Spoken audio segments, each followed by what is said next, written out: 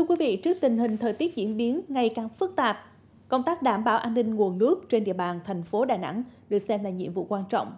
Vì vậy, từ đầu năm đến nay, công ty cổ phần cấp nước Đà Nẵng Daquaco đã chủ động triển khai nhiều giải pháp nhằm nâng cao chất lượng nguồn nước, đồng thời đảm bảo cung ứng nước sạch cho người dân.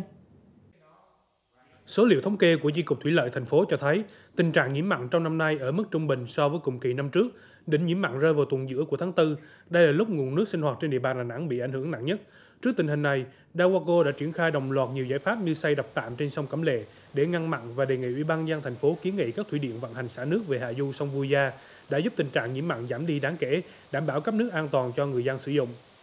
Một phần là chúng tôi có một đập mà ngăn mặn trên ờ, tạm thời trên sông ờ, Cẩm Lệ. Vì vậy mà hầu như toàn thành phố Đà Nẵng là không bị ảnh hưởng của nước mặn và nước đầy đủ. Và năm 2001 này, 21 này thì ờ, có lẽ như chúng ta đều biết là do tình hình dịch bệnh Covid cho nên lượng nước tiêu thụ nó có giảm. Tất cả các nhà hàng khách sạn thì hầu như người ta nghỉ. Hơn nữa thì các hồ thủy điện trên kia cũng đã một phần nào đó cũng tuân thủ cái Ờ, quy trình của chính phủ, quy trình xả nước chính phủ. Cho nên khi mà cái đập ngăn tạm thời của sông Vu Gia, sông Cầu Huế khi mà đã hoàn thành đó, thì cái lượng nước về sông Cầu Đỏ tương đối dồi dào. Qua khảo sát, người dân các địa phương đa số đều đánh giá nguồn nước sinh hoạt khá ổn định so với các năm trước, đặc biệt là trong khoảng thời gian nắng nóng vừa qua, tình trạng cúp nước đột ngột không còn, chất lượng nước cũng được đảm bảo. Bởi vì nước á, là nói chung là hắn hơi yếu một tí thôi, nhưng mà hắn cũng vẫn đảm bảo là hắn vẫn phụ kịp nói thiệt. Nhưng mà có mỗi năm này là cái công nghệ mà họ xử lý thì rất là tiên tiến chẳng phải như mấy năm. Thì mấy năm này tới mùa hè mùa này nắng nóng là nước không cạn thì cái rồi bị nhiễm mặn. Phải nói thì cái, cái mình sử dụng làm thấy hơi lợi lợi lợi lợi chứ năm nay thì chưa thấy.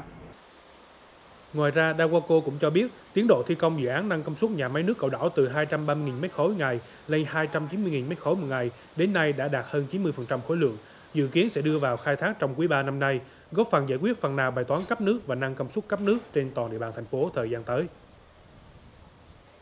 Theo quy hoạch cấp nước thì à, chúng tôi triển khai cùng lúc rất nhiều à, hạng mục. Trước hết là chúng tôi à, đang xây dựng và sắp hoàn thành cái dự án phân kỳ nhà máy nước cầu đỏ 10.000 mét khối ngày đêm. Thành ra là tổng công suất của anh nước cầu đỏ là 290.000 mét khối ngày đêm. Bên cạnh đó là chúng tôi ờ, đang hoàn thiện hồ sơ ờ, bản vẽ thiết kế dự toán ờ, thi công của tuyến ống của đập ăn Trạch, nâng từ 210.000 mét khối ngày đêm lên 420.000 mét khối theo yêu cầu của Ủy ban nhân thành phố.